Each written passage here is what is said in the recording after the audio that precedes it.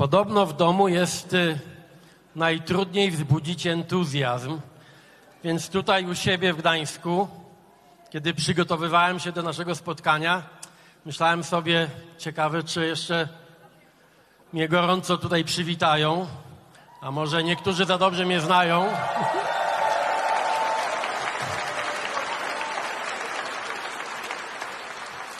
Ja nie ukrywam, nie ukrywam, że to spotkanie jest dla mnie wyjątkowym wyzwaniem. Jeśli będzie mi głos trochę drżał, to z autentycznego wzruszenia.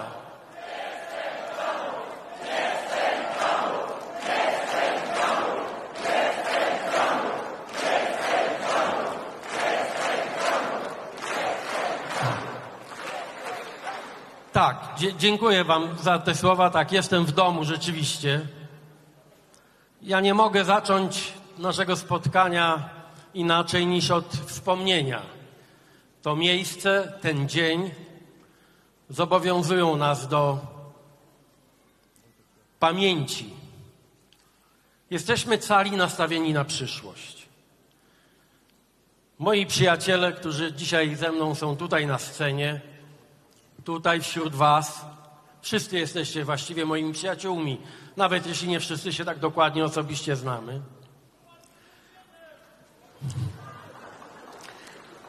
No tak, ja wiem, że właśnie szczególnie tu w Gdańsku z Wami się po prostu tak po ludzku rozmawia. Nie będę przemawiał.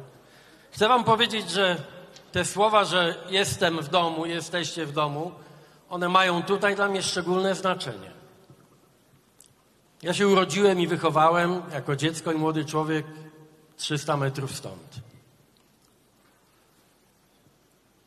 Moja szkoła średnia to jedynka. O rzut kamieniem od bramy stoczni. Te słowa rzut kamieniem mają swój dosłowny sens, jak się domyślacie. Gdańszczanki i Gdańszczanie pamiętają, jak często te miejsca właśnie tu to były także miejsca twardej walki, wymagającej odwagi, poświęcenia. To jest rzecz, z której jestem najbardziej dumny. To jest największy dar, jaki dostałem od,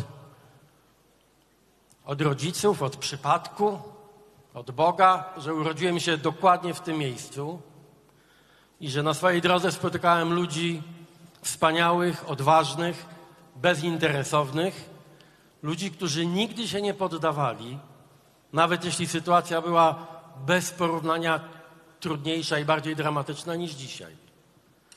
Moja szkoła podstawowa jest też dosłownie 500 metrów stąd. Ja w czasie wydarzeń grudniowych, jako szóstoklasista, słyszałem te strzały w ten tragiczny dzień, kiedy stoczniowcy polegli. Ja też pamiętam bardzo dokładnie te dni nadziei, salę BHP. To wtedy nie było miejsce celebry, imprez rządowych.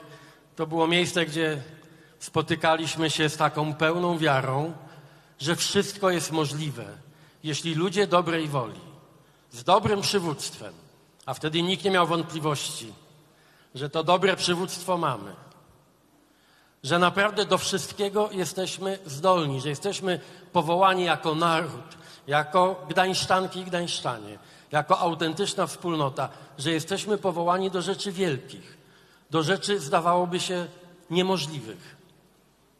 Pamiętam też kolejny smutny grudzień. Oj, wtedy nas było bardzo niewielu, szczerze powiedziawszy, kiedy ZOMO przygotowywało się do szturmu na stocznię po ogłoszeniu stanu wojennego.